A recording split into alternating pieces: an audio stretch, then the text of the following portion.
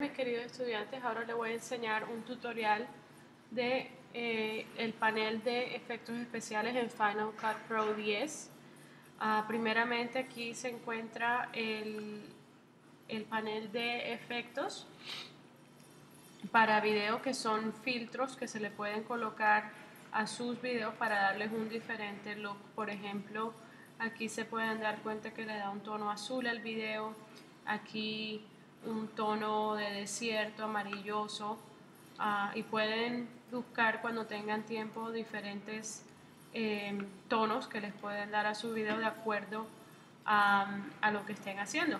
Aquí abajo se encuentran los efectos para el audio, si quieren darle un eco a una persona, aquí están diferentes tipos de eco.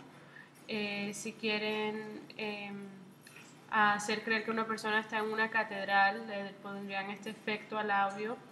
Eh, pueden hasta encontrar efectos de darle a la persona una voz totalmente diferente si quieren eh, esconder su identidad. Lo que sigue aquí eso es una cámara fotográfica, lo que quiere decir de que le van a mostrar las fotos que han sido eh, guardadas en iPhoto, en, en la Mac.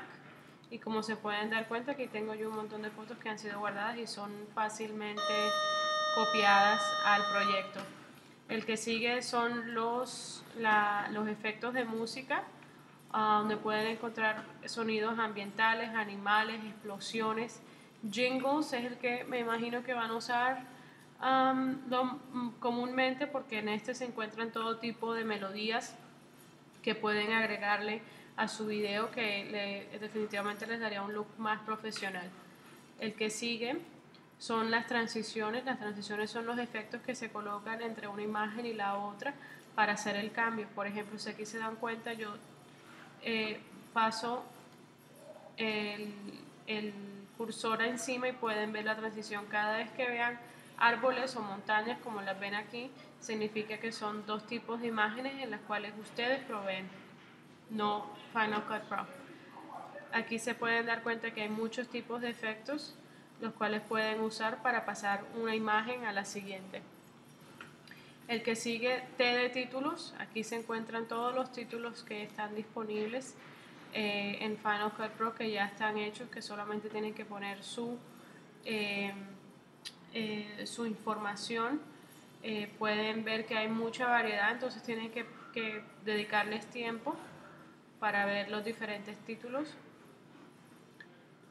El que sigue es eh, backgrounds o fondos, que hay de todo tipo. Si están buscando solamente un fondo negro, aquí es donde lo encontrarían.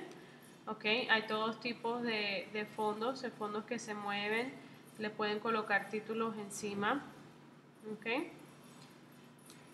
El que sigue es fondos y títulos, el cual incluye también transiciones eh, con, de acuerdo al fondo. Por ejemplo, aquí pueden ver que dice Video Transitions, lo que quiere decir de que usted puede, si tiene este tema entre todo el, el, documental, pueden usar ese o este para transicionar una, un video entre el otro.